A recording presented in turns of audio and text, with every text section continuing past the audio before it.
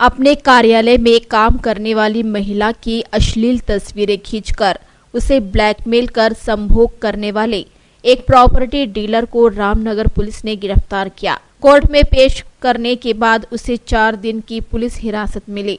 चंद्रपुर के नगीना बाग में एक प्रॉपर्टी डीलर के यहाँ लंबे समय से काम करने वाली एक महिला ने डीलर के खिलाफ शिकायत दर्ज कराई थी कि प्रॉपर्टी डीलर ने पहले उसे फंसाया और उसके बाद एक दिन कोल्ड ड्रिंक में नशीली दवा मिलाकर उसे बेहोश कर दिया और अश्लील तस्वीरें निकाल ली। इसके बाद वह यह तस्वीरें दिखाकर उसे ब्लैकमेल कर रहा था। इस दौरान उसने कई बार उसके साथ संभोग किया। उसका घर भी अपने नाम कर लिया। रामनगर पुलिस ने महिला की शिकायत पर मामला दर्ज कर आरोपी प्रॉपर्टी डीलर को शनिवार की रात गिरफ़्तार किया। कल रामनगर थाने में एक पीड़ित महिला ने कंप्लेंट दी। कि एक रफीक पठान नाम का आदमी जो प्रॉपर्टी डीलिंग का काम करता है। उसके यहाँ वो 2007 से 2011 तक लिखापढ़ी का काम कर रही थी। उसी दौरान उसने उसके अकेलेपन का फ़ायदा लेकर उसके साथ जबरन संभोग किया।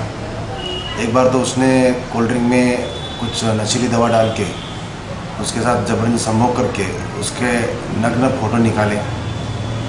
और उसके बाद उसने 2012 में एक जगह ली थी।